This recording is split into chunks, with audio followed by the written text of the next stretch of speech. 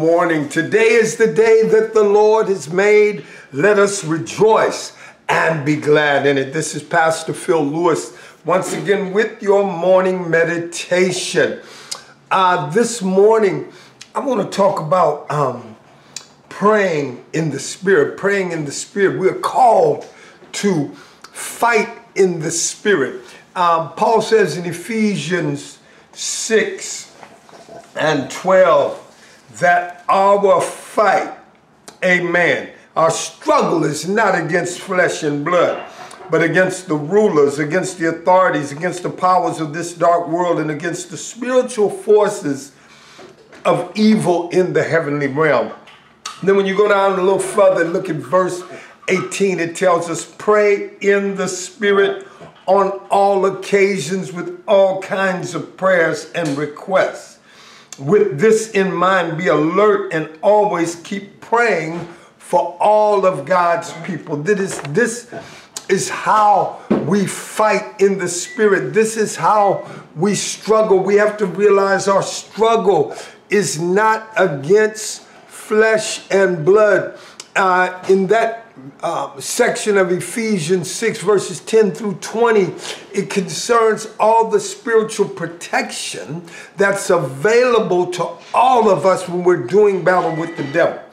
All of those who've committed their lives, if you committed your life to Jesus Christ, you should know that the kingdom of God and the kingdom of the devil are locked together in mortal combat, locked together in mortal battle. And Christians, whether you like it or not, are thrust right into the cutting edge of that conflict. Many of us um, are pacifists when it comes to earthly warfare, but no, none of us can be pacifists when it comes to the matter of spiritual warfare. Once we enlist in the army of God, once we have become disciples of Jesus Christ, once we have become Christians, we must be expected to train in the art of spiritual warfare, offensively and defensively. And at certain times and occasions in the Christian life, we find ourselves in a battle that demands hand to hand combat with the forces of evil. And unless we know how to handle these situations, we shall easily be overthrown. Most of the time, we get caught off guard when Satan comes against us and not realizing that this is a spiritual battle and we try to battle in the flesh. But we need to learn to go directly into the spiritual battle. We need to know to go directly into prayer uh, with uh, to God to overpower the enemy. The key to it is we fight from a position of victory. We don't fight from the position of being a victim, but we fight from the position of already being the victor.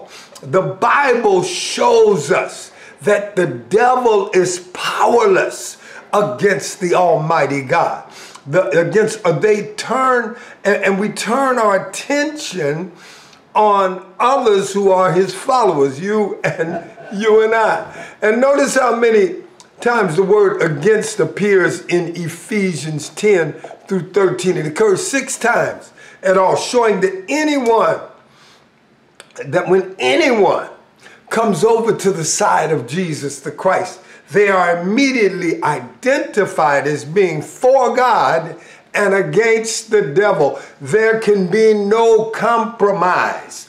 We must uh, struggle in the spirit. We must constantly examine ourselves to see what we are doing and how we are doing it. Um, we cannot uh, coexist with the evil in us.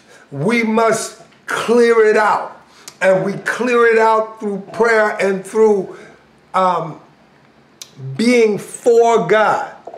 If we are for God, to be for God is to be against Satan, the world, and our own flesh. Wow. Amen.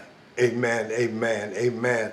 Um, hopefully that helped you this morning. Sure helped me as I was going through these scriptures today. Our struggle is not against flesh and blood. Amen. Shall we pray? Father, gracious and loving God, help us all to get our perspective clear. Train us in the art of spiritual warfare. So that we will be able to resist every onslaught of the devil and his demonic hordes and come through every conflict conflict victoriously.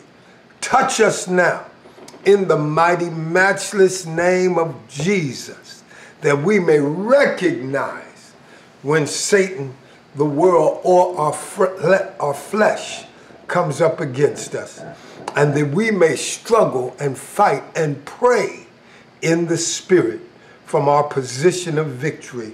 We already have victory in you. Allow us to know that by your presence and your love.